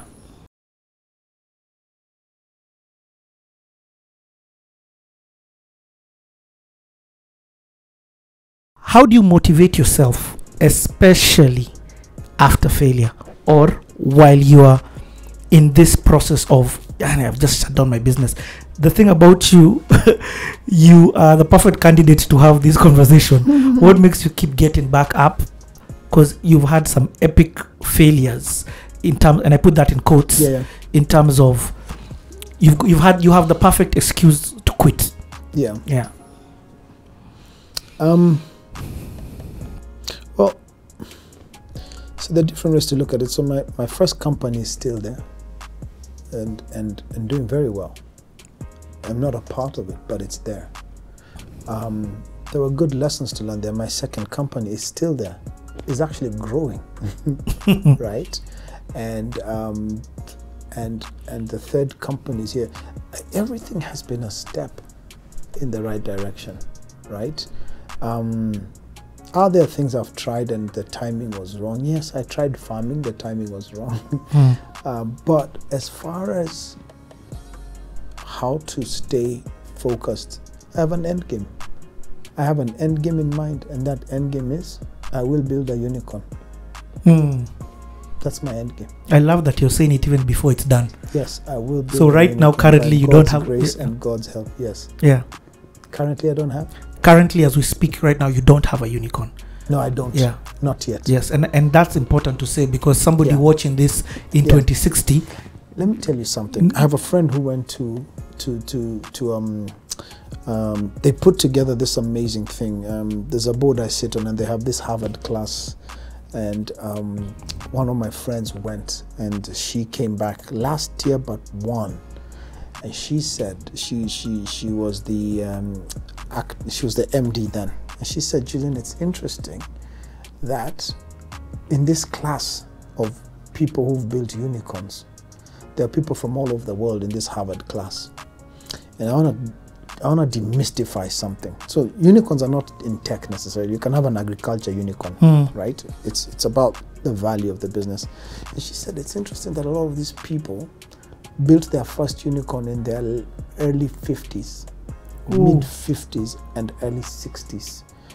Then their second unicorns also in their mid 50s and early 60s and some of them, very few of them, in their late 40s. I want to remove the notion in our minds that everybody's going to be a Mark Zuckerberg. Mm. Not everybody can build a billion dollar organization at 26. Mm. so, first of all, that's that's um, You can count the them on one hand. yes, that's a misnomer. It's not the norm. it's an anomaly. It's an anomaly. It's, it's, it's, it's, it's what you wouldn't count as normal. The real normal thing for people to reach that level of business is in their late 40s and their 50s. So, first of all, everybody stop short circuiting process. take your time. Yes, do what you have to do, uh, what you have to do quickly, do it, but take your time because you're going to have to do the time. And these were guys from Brazil, Mexico, America, right? Spain, different parts of the world. And they were there. And they've built unicorns. Some of them on their third unicorn, right? Because after at some point building the next one, once you've built your first unicorn, the next time you announce I'm starting a company, you have funders from everywhere wanting to back you. So it gets easier.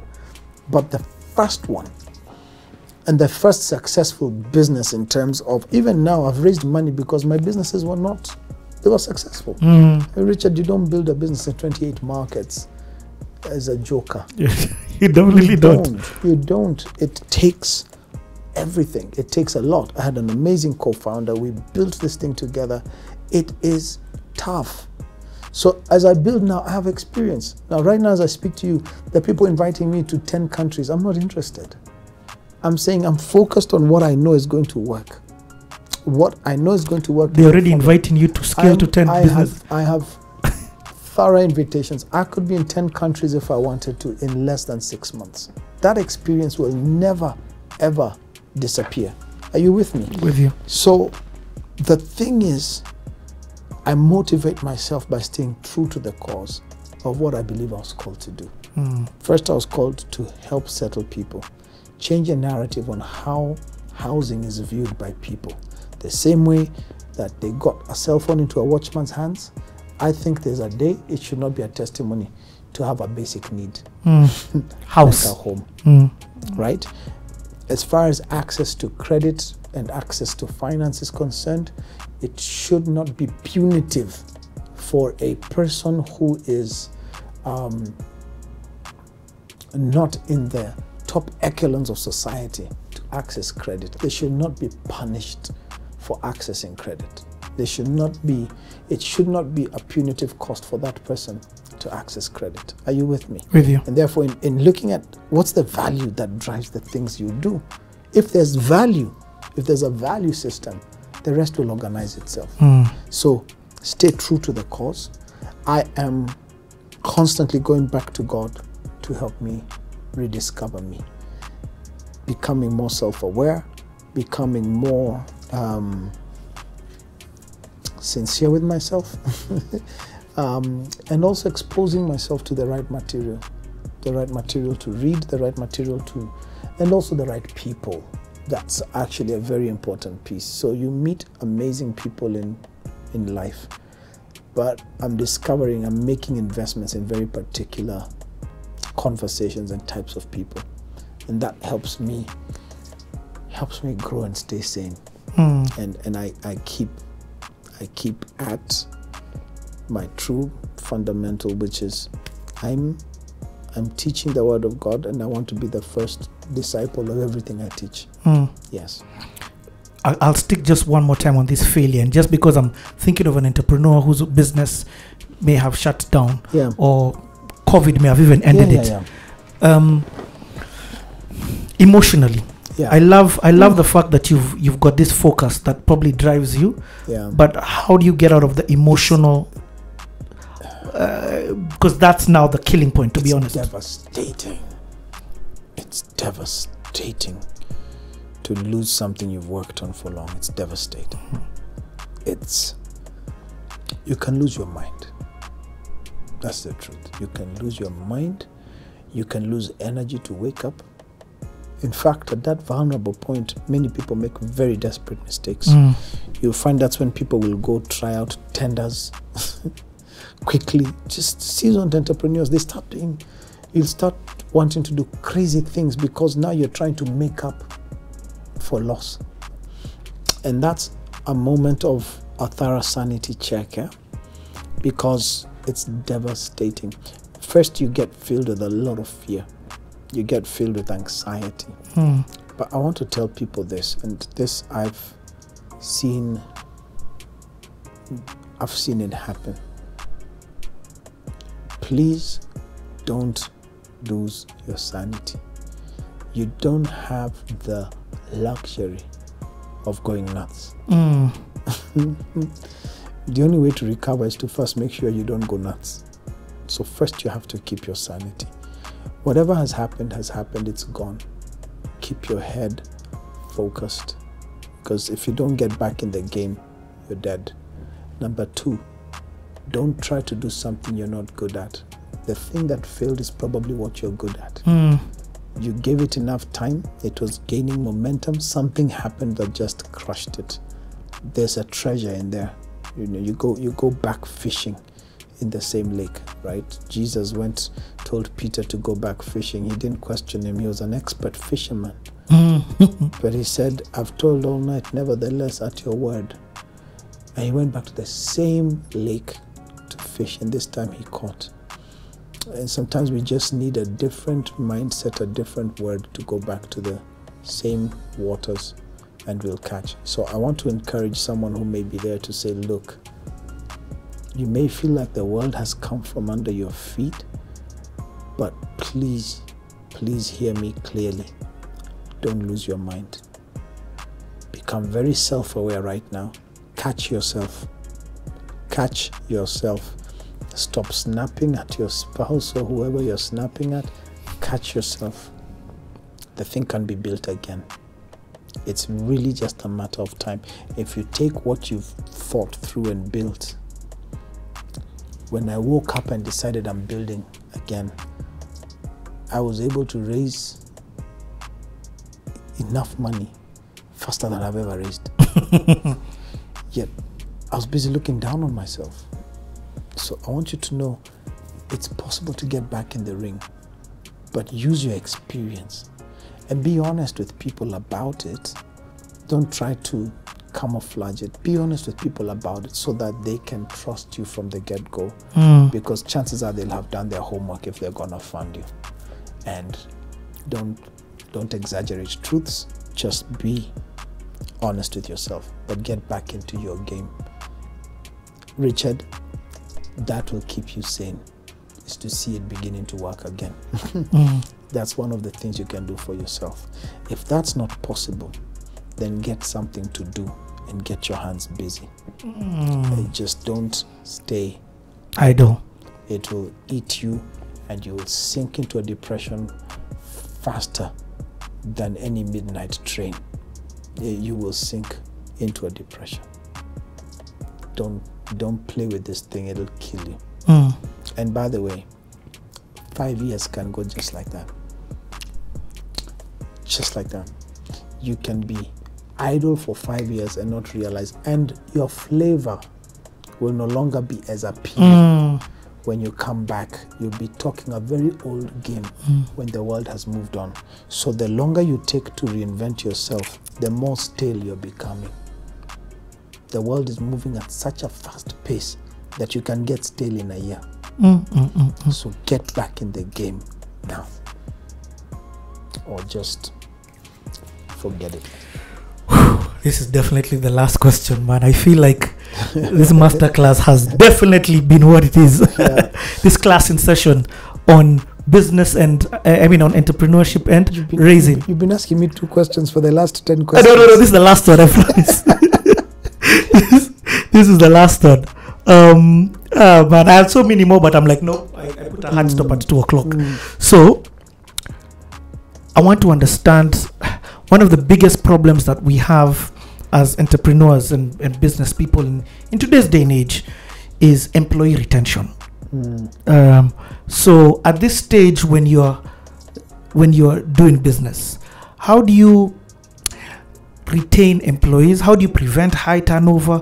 Because you're the pioneer.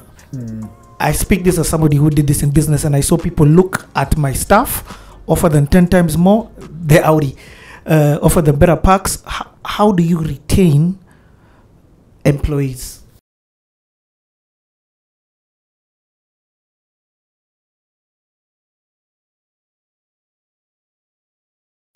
I want to understand one of the biggest problems that we have as entrepreneurs and, and business people in, in today's day and age is employee retention.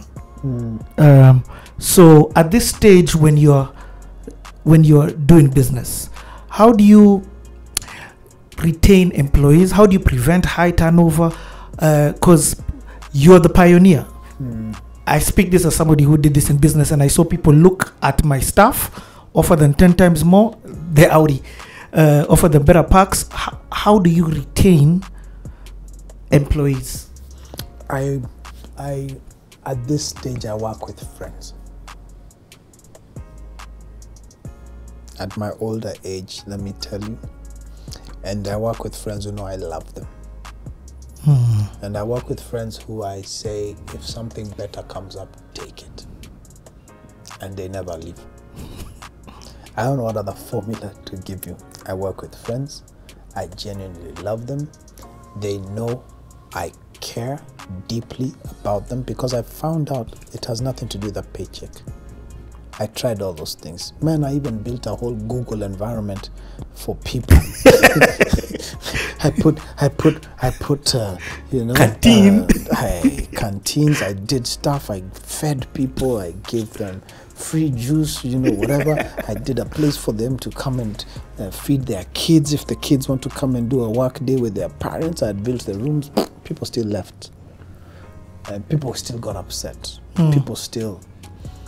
Um, so I changed formula. I said, what should I do? I sold vision to people who really care for me and who I care for, and they said, let's do this. And I've seen those people in the beginning when I couldn't give them a salary, they did six months with no pay. Mm. And now they're fine, but they, they knew I'm in this to stay. Because, first of all, I also left the door open. Mm. I said, if something else comes up, run, because I want the best for you. When people know you want the best for them, people know you genuinely love and care for them and their families, you're an asset. Why do I want to go work anywhere else? Mm. I could go to that big company, they'll give me the check, but then I have to work 19 hours. They expect me to jump every time they say jump. No. Sometimes, especially more mature people, they're looking for family. Mm. So I built a family. Mm, That's that's what we are. So, but my question now then expands to what when one of your family members can't do a certain task or don't have the certain skill, and you've got to employ somebody outside your scope. Yeah. It- we adopt another family member. Oh, they come into I a mean, culture. I'll, I'll tell you, they come into a culture. Actually, you build a culture, you build a community, right? Which is exactly what I've also done with church. I don't just want to have a member, I want to have a family. It's a community. What, what do you benefit from being in this community? There has to be a benefit. Hmm. And so that, I'll tell you, Richard, it's a it's an amazing culture to have. I wish I had discovered this earlier. It's an amazing culture to have when you genuinely do care for people. That means you're very selective who comes into that culture. Hmm. Very. Hmm. Because you don't want anyone coming to spoil the family. So I've become that, but at the same time, I've become tougher in understanding that, hey, um, you can hop jobs anytime, but it's also it's become a free world. But it's tough out there. It is tough out there. Mm, mm. This environment I've created for you, it's not going to be easily replicable. Hmm. So Hmm. I've created a very tough environment for you to live. And I'm not talking about nice offices. I actually realized it's not the hardware, it's the software. It's the software. And neither does that mean you babying babied. I mean, babying First your people. all, I have no babies. I hired adults. And let me explain. Sometimes even a 28 year old can be an adult Mm. in terms of workplace. I hired adults in the sense that I needed to know you don't need to be given work hours. You don't need to be told what time to be in the office. You're so driven by what it is you do. So I was very selective about the culture. Very selective this time. And I've started doing it in all my organizations. Mm. So that culture wise, yes, we're motivated by what we earn, but there are certain other fundamentals that matter more. And so we've created a very neat type of organization driven by just the fundamentals of humanity.